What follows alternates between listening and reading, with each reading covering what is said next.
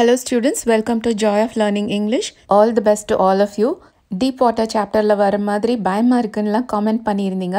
பயப்படாதீங்க. எக்ஸாம் கண்டிப்பாக ஈஸியாக தான் இருக்கும். உங்களுக்கு கொஞ்சம் ஸ்ட்ராட்டஜி மட்டும் தெரிஞ்சிருக்கணும். அவ்வளோதான் நான் நிறைய டிப்ஸ் அண்ட் ட்ரிக்ஸ் ஏற்கனவே போட்ட வீடியோலலாம் சொல்லியிருக்கேன். அதை ஃபாலோ பண்ணுங்கள் எதுக்கும் பயப்படாதீங்க. எக்ஸாம் ரொம்ப ஈஸியாக இருக்கும். இப்போ நம்ம உங்களோட அடிஷ்னல் சாம்பிள் கொஸ்டின் பேப்பரில் இருக்க அன்சீன் பேசேஜை ஒரு தடவை ரிவைஸ் பண்ணிடலாம் நிறைய பேர் எனக்கு இந்த கொஸ்டின் பேப்பர் எப்படி கிடச்சதுன்னு கேட்டிருந்தீங்க. நீங்கள் CBSE additional sample paper twenty twenty ஒன்னு கூகுள் பண்ணி பார்த்தீங்கனாலே உங்களுக்கு இது கிடைக்கும். நீங்கள் W W W dot CBSE academics dot NIC dot in இதில் போய் அகாடமிக் செக்ஷனில் செக் பண்ணிங்கன்னா கிளாஸ் டென் கிளாஸ் டுவெல் ரெண்டோட எல்லா சப்ஜெக்ட்ஸோட sample question paper additional question பேப்பருமே உங்களுக்கு கிடைக்கும். அன்சீன் பேசேஜை படிக்கிறதுக்கு நீங்கள் நிறைய டைம் ஸ்பெண்ட் பண்ண வேண்டியிருக்கும். அதனால நீங்கள் இந்த அன்சீன் பேசேஜை ஃபர்ஸ்ட் படிக்க போகிறீங்களா லாஸ்ட் படிக்க போகிறீங்களா அப்படிங்கிறத முடிவு பண்ணிக்கோங்க. உங்களோட ரீடிங் ஸ்கில்ஸ் உண்மையிலேயே நல்லா இருக்குது அப்படின்னா நீங்கள் சீக்கிரம் படிச்சிருவீங்கன்னா இதை ஃபர்ஸ்ட் படிங்க. இல்லைன்னா லிட்ரேச்சர் செக்ஷனில் உங்களுக்கு ரீட் பண்ணுறதுக்கு ரொம்ப கம்மியாக தான் இருக்கும். அதெல்லாம் முடிச்சுட்டு கடைசியில் நீங்கள் அந்த பேசேஜை படிக்கலாம். அப்போ உங்களுக்கு நிறைய டைம் இருக்கும். நீங்கள் டென்ஷன் ஆகாமல் நல்லா புரிஞ்சு இதை படிக்கலாம். ஃபர்ஸ்ட்டு ஸ்ட்ராட்டஜி நீங்கள் இந்த கொஷின் பேப்பரில் எதை ஃபர்ஸ்ட் அட்டன் பண்ண போகிறீங்க அடுத்து எது? அடுத்து எது? அப்படின்லாம் முதலே பிளான் பண்ணி வச்சுடுங்க. இதில் நீங்கள் ஃபர்ஸ்ட் கவனிக்க வேண்டியது இந்த பேசேஜோட ஹெட்டிங் ஆர் டைட்டில் என்ன? அதுலேயே உங்களுக்கு கான்செப்ட் நல்லா புரிஞ்சிடும் அதை மனசில் நல்ல மொதல் ஏற்றிக்கோங்க இந்த பேசேஜில் பார்த்தீங்கன்னா title study on fake news so இது எதை பற்றினா ஃபேக் நியூஸை பற்றி ஒரு ஸ்டடி பண்ணியிருக்காங்க. அதை பற்றி தான் இந்த பேசேஜ் இருக்க போகுது. ஸோ உங்களுக்கு இப்போவே ஒரு ஐடியா கிடச்சிருக்கும். இதில் என்னென்ன மாதிரி இன்ஃபர்மேஷன் நமக்கு கிடைக்கும் அப்படின்னு. இப்போ நீங்கள் படிக்கும் போது இதில் இருக்க இம்பார்ட்டண்ட் இன்ஃபர்மேஷன் எல்லாத்தையும் நீங்கள் நோட் பண்ணிக்கணும். கொஷின் பேப்பரில் ஸ்க்ரிபிள் பண்ணக்கூடாது எதுவும் எழுதக்கூடாது. ஆனால் சில இன்விஜிலேட்டர்ஸ் ஏதாவது டிக் பண்ணுறது அண்டர்லைன் பண்ணுறதுக்கெல்லாம் சில பேர் அலோவ் பண்ணுவாங்க. உங்கள் இன்விஜிலேட்டர் எப்படி இருக்க போகிறாருன்னு நமக்கு தெரியாது. அதனால நீங்கள் எதுக்கும் ஒருத்தரவை உங்கள் இன்விஜிலேட்டர்கிட்ட கேட்டுக்கோங்க. நீங்கள் கேட்குறதுனால எல்லாரும் ஏதோ நினைப்பாங்க சிரிப்பாங்க அப்படின்லாம் யோசிக்காதீங்க. ஓகே இப்போ நம்ம ஃபர்ஸ்ட் பேசேஜ் படிக்கலாம். A 2020 study on misinformation in India by the University of Michigan has noted a rise in the number of inaccurate stories being circulated. So இங்கே என்னென்ன கீ பாயிண்ட்ஸ்னு பார்த்தீங்கன்னா டுவெண்ட்டி டுவெண்ட்டியில் இந்த ஸ்டடி பண்ணியிருக்காங்க. எதை பற்றி மிஸ் இன்ஃபர்மேஷன் இன் இந்தியா இந்த ஸ்டடியை யார் பண்ணியிருக்காங்க?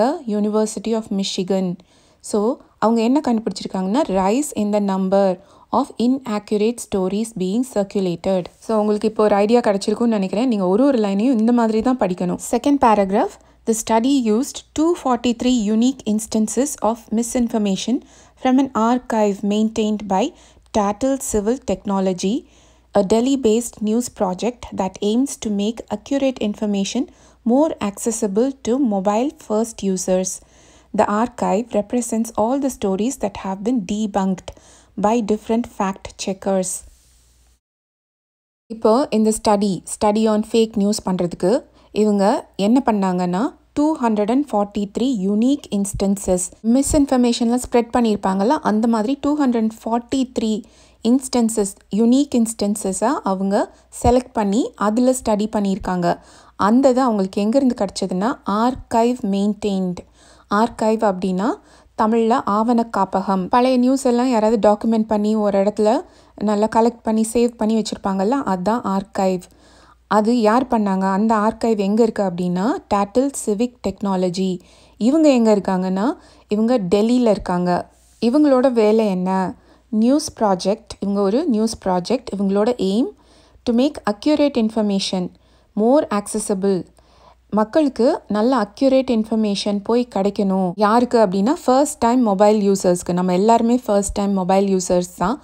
இந்த மாதிரி நிறைய வதந்திகள் நம்மளோட சோஷியல் மீடியாவில் நமக்கு கிடைக்கிது. வாட்ஸ்அப்லேயோ இல்லை ஃபேஸ்புக்லேயோ நிறைய வதந்திகளை ஸ்ப்ரெட் பண்ணுறாங்க இல்லையா? அவங்களுக்கெல்லாம் நல்ல அக்யூரேட்டான கரெக்டான இன்ஃபர்மேஷன் போய் சேரணும் அப்படின்னு இந்த டெல்லி பேஸ்ட் நியூஸ் ப்ராஜெக்ட் ஒரு ஆர்கைவை மெயின்டைன் பண்ணிகிட்ருக்காங்க இவங்களோட பேர் என்ன?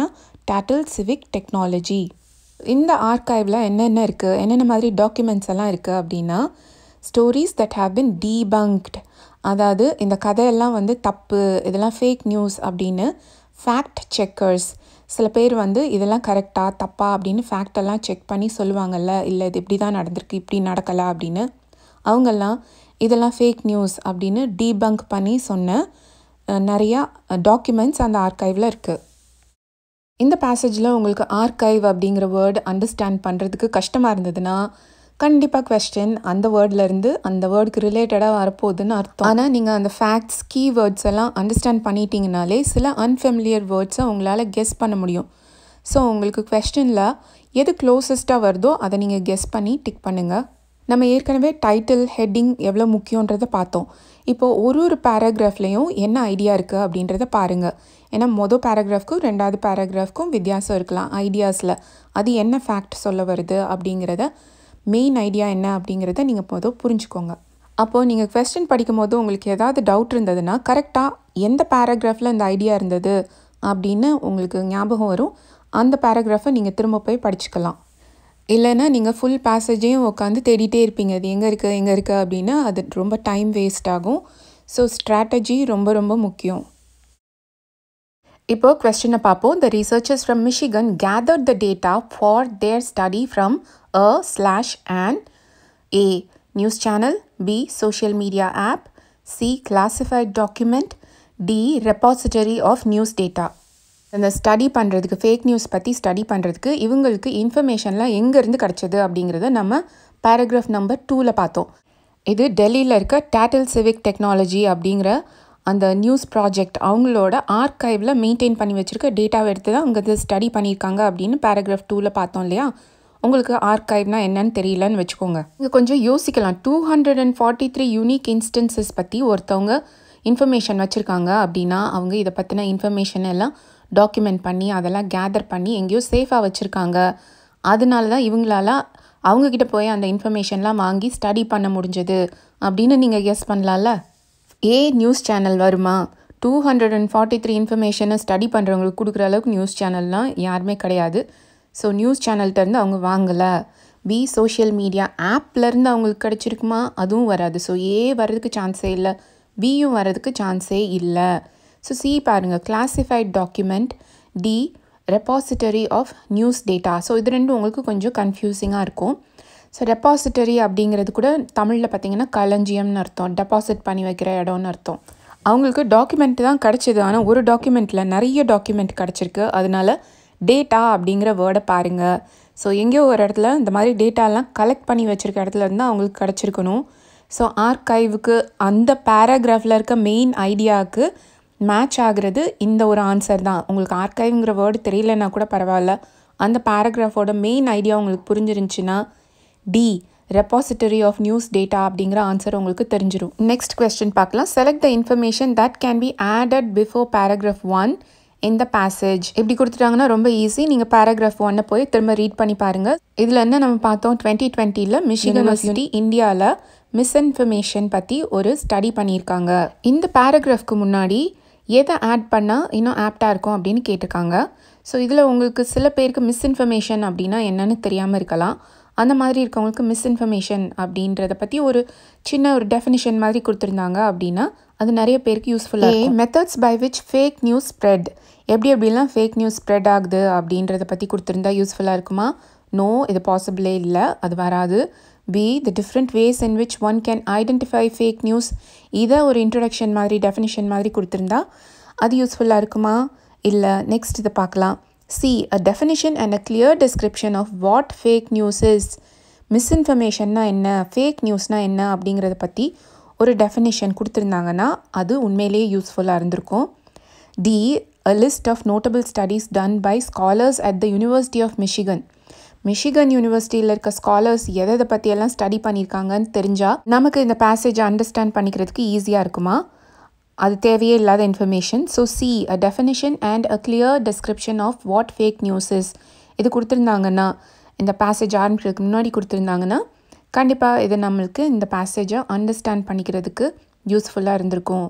ஃபுல் பேசேஜும் இந்த வீடியோவில் இருக்குது நீங்கள் ரீட் பண்ணிவிட்டு மற்ற கொஸ்டின்ஸையும் ப்ராக்டிஸ் பண்ணி பாருங்கள் நான் சொன்னதை ஞாபகம் வச்சுக்கோங்க. நீங்கள் பேசேஜ் ரைட்டிங்கை ஃபர்ஸ்ட் அட்டம் பண்ண போகிறீங்களா லாஸ்ட் அட்டம் பண்ண போகிறீங்களான்ட்டு முதலே டிசைட் பண்ணி வச்சுக்கோங்க.